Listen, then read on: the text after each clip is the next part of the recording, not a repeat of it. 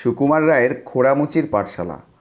পোর্টসমাউথের বন্দরের কাছে একজন খোড়া মুচি থাকতো। তার নাম জন পাউন্স ছেলেবেলায় জন তার বাবার সঙ্গে জাহাজের কারখানায় কাজ করত।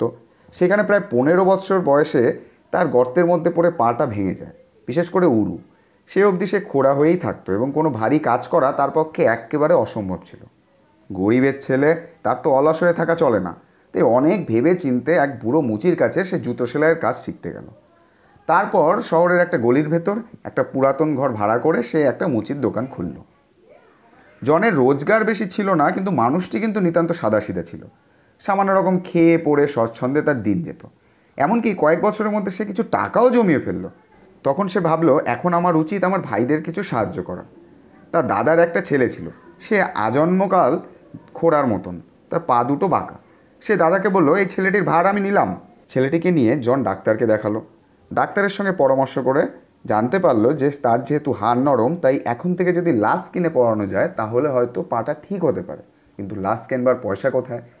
তাই জন নিজে হাতে রাতের পর রাত জেগে লাশ বানিয়ে, বাচ্চাটিকে পড়িয়ে এবং সেবা শুশ্রূষা করে তাকে সুস্থ করে তুলল। ততদিনে ছেলেটার লেখাপড়া শেখার বয়স হয়েছে। পাউন্স নিজে তাকে শিক্ষা দেবার জন্য ব্যবস্থা করতে লাগল। প্রথমে সে ভাবলো যে একা একা লেখাপড়া করলে শিশুর মনে হয়তো ফুর্তি আসবে না। তাই তার দু একজন সঙ্গী দরকার। এই ভাবনায় সে পাড়ার আরও দুটি ছেলে মেয়েকে এনে তার ক্লাসে ভর্তি করে দিল। দু একটি থেকে ছাত্রছাত্রীর সংখ্যা দেখতে দেখতে পাঁচ সাতটি হয়ে গেল। কিন্তু তাতেও খোড়ামুচির মন উঠল না।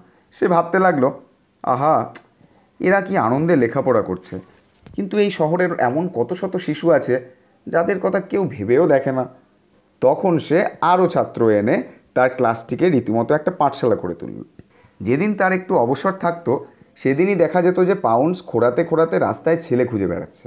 যত রাজ্যের অসহায় শিশু, যাদের বাপ নাই, মা নাই, যত্ন করিবার কেউ নাই, তাদেরও ধরে এনে সে তার পাঠশালায় ভর্তি করত। ছেলে ধরবার জন্য তার প্রধান অস্ত্র ছিল আলু ভাজা।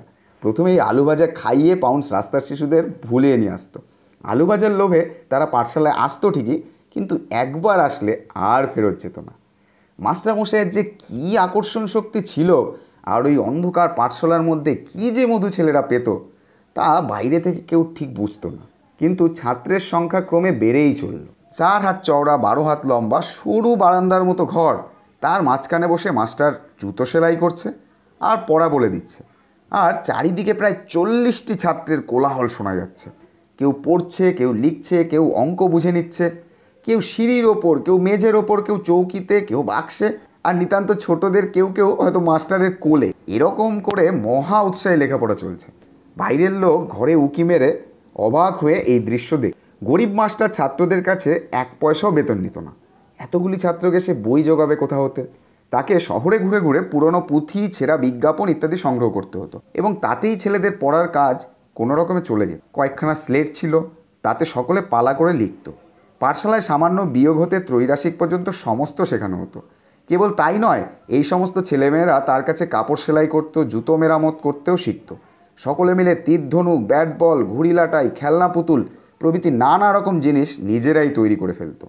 তাদের খাওয়া পড়ার সমস্ত অভাবের কথা গরিব মাস্টারকেই ভাবতে হতো। এই সমস্ত দেখে শুনে জন পাউন্সের ওপর কোনো কোনো লোকের শ্রদ্ধা জন্মালো। তারা মাঝে মাঝে গরম কাপড় চোপড় পাঠিয়ে দিত।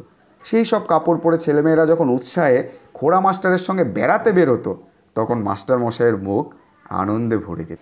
এমনি করে কত বৎসর যে কেটে গেল, জন পাউন্সের তা খেয়াল হলো না।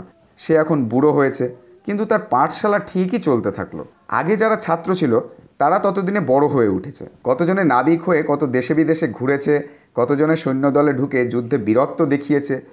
নতুন ছাত্রদের পড়াবার সময় এই পুরনো ছাত্ররা তাদের বৃদ্ধগুরুকে দেখার জন্য পাঠশালায় হাজির হতো। তার ছাত্রেরা যে সৎপথে থেকে উপার্জন করে খাচ্ছে এবং এখনও যে তাদের খোড়া মাস্টারকে তারা ভোলে নাই, এই ভেবে গৌরবে, আনন্দে বৃদ্ধ দুই চোখ দিয়ে দরদর করে জল পড়ত। আঠেরোশো তিরানব্বই খ্রিস্টাব্দের নববর্ষের দিনে বাহাত্তর বছর বয়সে পাঠশালার কাজ করতে করতে বৃদ্ধ হঠাৎ শুয়ে পড়ল। বন্ধু বান্ধব উঠে গিয়ে দেখল তার প্রাণ বেরিয়ে গেছে।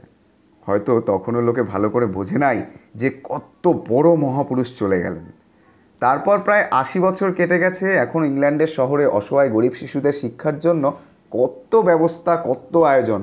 কিন্তু এ সমস্তের মূলে ওই যে খোড়ামুচির পাঠশালা, সেই পাঠশালার যারা পড়তে আসতো, কেবল তারাই যে জন পাউন্ডসের ছাত্র তা নয়, যারা নিজেদের অর্থ দিয়ে, দেহের শক্তি দিয়ে, একাগ্র মন দিয়ে অসহায় গরিব শিশুদের শিক্ষা উন্নতির চেষ্টা করেছেন তারা অনেকেই গর্বের সঙ্গে এই খোড়ামুচিকে স্মরণ করে বলেন, আমরাও আচার্য জন পাউন্সের শিষ্য। এই খোড়ামুচির নাম স্মরণীয় রাখবার জন্য তার ভক্তেরা মিলে তার একটি পাথরের মূর্তি প্রতিষ্ঠা করেছে।